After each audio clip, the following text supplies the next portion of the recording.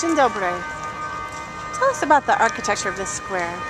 Well, the walls of the square are, are kind of a timeline of uh, Polish architectural history.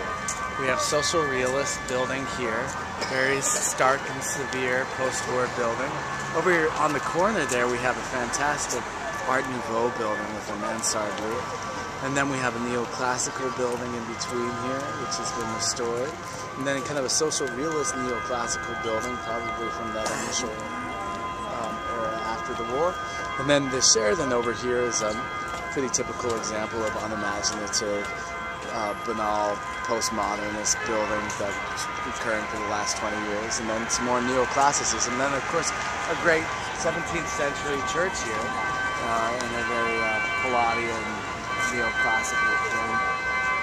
But the most important thing about the architecture of the square is that, so those are the walls, but the ground is uh, a mess of uh, parking space and uh, too many travel lanes.